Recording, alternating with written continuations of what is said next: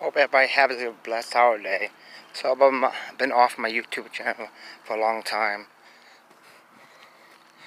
I just want to slowly start this back up.